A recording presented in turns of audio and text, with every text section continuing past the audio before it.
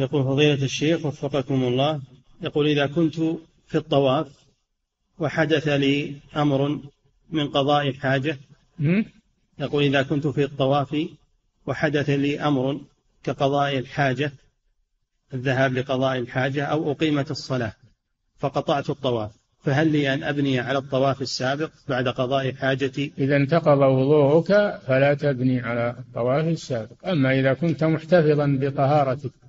وفصلت في الطواف لتصلي أو عرضت لك حاجة خرجت لقضائها غير انتقاض الوضوء ورجعت قريبا فواصل طوافك وابني على ما سبق. نعم.